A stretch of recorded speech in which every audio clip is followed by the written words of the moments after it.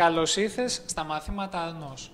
Θα ασχοληθούμε με την άσκηση 2 από τη σελίδα 117 του βιβλίου με αντικείμενο τις ανισότητες και τις ανισότητες με έναν άγνωστο. Η άσκηση παιδιά 12 τι μου λέει; Να αποδείξετε μου λέει ότι, τι πράγμα, αν το χ είναι θετικό, τότε το χ συν 1 προς χ είναι μεγαλύτερο ίσο του 2. Α ερώτημα. Β ερώτημα, αν το χ είναι αρνητικό, τότε το χ συν 1 προς χ είναι με μικρότερο ή ίσο του μείον 2. Λοιπόν, για να δούμε πώς θα χειριστούμε αυτή την άσκηση. Είναι δύο ερωτήματα. Πάμε να δούμε το α. Αν το χ είναι θετικό, το θεμέλιό μου, έτσι, το δεδομένο μου, τότε χ συν 1 προς χ είναι μεγαλύτερο ή ίσο του 2. Πρέπει να δείξω αυτό, έτσι. Λοιπόν, να το αποδείξω. Λοιπόν, παιδιά, η λογική είναι ίδια. Δηλαδή, όταν θέλω να αποδείξω κάτι, παίρνω ως δεδομένο αυτό που θέλω να αποδείξω, θεωρώ δηλαδή ότι ισχύει. Για να δούμε. Έστω λοιπόν ότι όντως ισχύει χ συν 1 προς χ είναι μεγαλύτερο έσω του 2. Ισχύει, έτσι. Λοιπόν, θα το δουλέψω, θα το δουλέψω και θα το δουλέψω και θα φτάσω τελικά σε μια τελική σχέση. Αν αυτή η τελική σχέση είναι μια γενική αλήθεια, δηλαδή αν ισχύει όντως, τότε ισχύει και αυτό εδώ που έχω αρχικά υποθέσει. Επομένως, θα δουλέψω αυτή τη σχέση, θα φτάσω σε ένα τελικό συμπέρασμα. Αν ισχύει αυτό, τότε ισχύει και αυτό που θέλει να το αποδείξω. Λοιπόν, για πάμε. Χ συν 1 προς χ μεγαλύτερο ίσο του 2. για πάμε να τη δουλέψω. Είναι μια δύσκολη ανίσωση, έτσι. Γιατί είναι δύσκολη, γιατί έχει παρανομαστές. Εγώ θέλω μία σχέση μου, είτε αυτή είναι εξίσωση, είτε αν είναι ανίσωση, να είναι όσο πιο απλή γίνεται. Οπότε θα διώξω τον παρανομαστή. Λοιπόν, πώς διώχνω τον παρανομαστή, για να θυμηθούμε λίγο από εξισώσεις.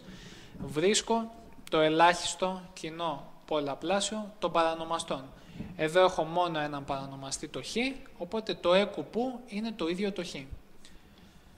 Στη συνέχεια, για να διώξεις παρανομαστές, πάρε το ελάχιστο κοινό πολλαπλάσιο και πολλαπλασίασε κάθε όρο, έναν όρο, δεύτερο όρο, τρίτο όρο. Με άλλα λόγια, πολλαπλασίασε κάθε όρο στο πρώτο μέλος και στο δεύτερο. Δηλαδή, τι θα πω; Χ επί χ.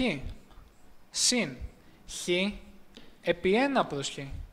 Μεγαλύτερο ίσο του χ επί 2. Με άλλα λόγια, με το χ πολλαπλασίασα την ανίσωσή μου, κάθε μέλος της. Απάντηση. Η φορά μου θα αλλάξει τις ανίσωσης ή όχι; Λοιπόν, η ποσότητα με την οποία πολλαπλασιάζω, αν είναι θετική, η φορά μου δεν θα αλλάξει. Αν είναι αρνητική, θα αλλάξει. Ευτυχώς όμως η άσκηση μας βοηθάει εδώ, γιατί τι μου λέει, ότι το χ είναι θετικό, έτσι. Οπότε αφού είναι θετικό, η φορά όντως παραμένει ως έχει, η ίδια. Λοιπόν, για πάμε να απλοποιήσουμε λίγο τη ζωή μας, δηλαδή τι θα έχω. Χ επί χ, χ τετράγωνο, έτσι. Προηγούνται οι πολλαπλασιασμοί. Συν αριθμός επί κλάσμα. Πολλαπλασιάζει το αριθμός, το χ, επί τον αριθμητή. Χ επί 1, πόσο, χ. Χ δια χ, μεγαλύτερο ίσο του 2 επί χ. Μα όμως, χ δια χ, παιδιά, δεν μου κάνει 1. Οπότε τελικά, παιδιά, τι έχω; Δεν έδειξα ότι χ τετράγωνο συν 1 είναι μεγαλύτερο έσω του 2χ. Ε, και τώρα αυτό, παιδιά, τι μου θυμίζει; Βλέπω μία ποσότητα στο τετράγωνο. Μία άλλη ποσότητα που αν τη φανταστώ είναι και αυτή στο τετράγωνο, έτσι; Ένα στο τετράγωνο. Ένα διπλάσιο γινόμενο στο άλλο μέλος. Επομένως, αυτό δεν με παραπέμπει σε γνωστή ταυτότητα. Μόνο που για να γίνει αυτή η ταυτότητα πρέπει αυτά εδώ τα τρία να είναι μαζί, όχι χώρια. Ε, τι θα κάνω; Θα πάρω το 2χ, θα το φέρω στο πρώτο μέλος, οπότε παιδιά τι θα έχω, μείον 2χ. Ό,τι αλλάζει μέλος αλλάζει και πρόσημο. Μεγαλύτερο ίσο, δεν έμεινε τίποτα, άρα 0. Οπότε παιδιά τι έχω; χ τετράγωνο μείον 2χ συν 1, μεγαλύτερο ίσο του μηδενός. Το πρώτο μέλος, παιδιά, όμως δεν είναι από ταυτότητα το ανάπτυγμα του τετραγώνου. Δεν είναι το χ 1 και όλος στο τετράγωνο. Ε, αυτό δεν ξέρω ότι είναι μεγαλύτερο ίσο του μηδενός. Ό,τι ποσότητα και να υψώσεις σε ζυγό εκθέτη, το αποτέλεσμα δεν θα είναι πάντα μεγαλύτερο ίσο του μηδενός. Ε, όντως αυτό ισχύει. Αφού ισχύει επομένως το τελικό μου συμπέρασμα, ισχύει και το αρχικό. Οπότε απέδειξα αυτό που μου έλεγε να αποδείξω. Λοιπόν, πάμε και στο ερώτημα Β.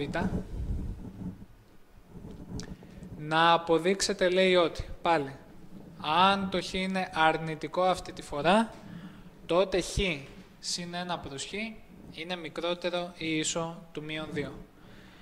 Λοιπόν, η λογική παιδιά είναι πάλι η ίδια. Δηλαδή, θεωρώ την ανίσωσή μου ότι ισχύει. Τη θεωρώ δεδομένη. Έστω ότι, τι πράγμα, χ συν 1 προς χ μικρότερο ίσο του μείον 2. Θα τη δουλέψω, θα φτάσω σε ένα τελικό συμπέρασμα. Αν το συμπέρασμά μου αυτό ισχύει, τότε ισχύει και αυτή εδώ η αρχική από την οποία ξεκίνησα. Λοιπόν, πάμε να τη δουλέψω. Πάλι θα την κάνω πιο εύκολη. Θα διώξω τους παρανομαστές. Ξαναλέμε, για να διώξω παρανομαστές θέλω το ε, ελάχιστο κοινό πολλαπλάσιο των παρανομαστών, που επειδή εδώ έχω μόνο έναν, άρα είναι το χ. Με αυτό το χ πολλαπλασιάζω και το πρώτο μέλος της ανίσωσης και το δεύτερο. Δηλαδή, χ επί χ, συν χ επί 1 προς χ. Στο άλλο μέλος τι θα έχω, μείον 2 επί χ, πολλαπλασιάζω τα πάντα με χ. Όμως, επειδή πολλαπλασιάζω με το χ, που το χ, παιδιά, τι είναι, αρνητικός αριθμός, οπότε η φορά αλλάζει και γίνεται έτσι. Λοιπόν, πράξεις. χ επί χ, χ τετράγωνο. χ επί 1 προς χ. Τα χ απλοποιούνται, φεύγουν, έτσι. Αυτό ήθελα, να φύγει ο παρανομαστής. Οπότε, συν 1 μεγαλύτερο ίσο του μείον 2 επί χ. Όπως έκανα και στο ερώτημα α, τι κάνω, τα φέρνω όλα μπροστά, γιατί βλέπω εδώ ένα χ τετράγωνο. Βλέπω έναν άσο, που ο άσος είναι άσος στο τετράγωνο. Βλέπω ένα διπλάσιο γινόμενο, αυτό μου θυμίζει κάποια ταυτότητα. Αλλά για να εφαρμόσω την ταυτότητα πρέπει να τα έχω όλα μαζί. Δηλαδή χ τετράγωνο, συν 1, μείον 2χ, θα έρθει μπροστά, θα αλλάξει μέλος, οπότε αλλάζει και πρόσημο. Οπότε γίνεται συν 2χ μεγαλύτερο ίσο, δεν έμεινε τίποτα στο δεύτερο μέλος, οπότε 0. Το πρώτο μέλος, παιδιά, δεν είναι από ταυτότητα το ανάπτυγμα τετραγώνου, δηλαδή το χ συν 1 και όλο στο τετράγωνο. Ε, αυτό δεν είναι πάντα μεγαλύτερο ίσο του μηδενός. Όταν έχω μία ποσότητα και την υψώσω σε ζυγό εκθέτη, πάντα το αποτέλεσμα αυτής της ποσότητας, της δύναμης, όταν η δύναμή μου έχει ζυγό εκθέτη, πάντα η δύναμη αυτή θα είναι μεγαλύτερη ή ίση του μηδενός. Οπότε το αποτέλεσμά μου, παιδιά, ισχύει. Άρα ισχύει και αυτό εδώ το αρχικό που θέλει να το αποδείξω. Ευχαριστούμε για την προσοχή και τη διάθεσή σας. Ευχόμαστε καλή συνέχεια.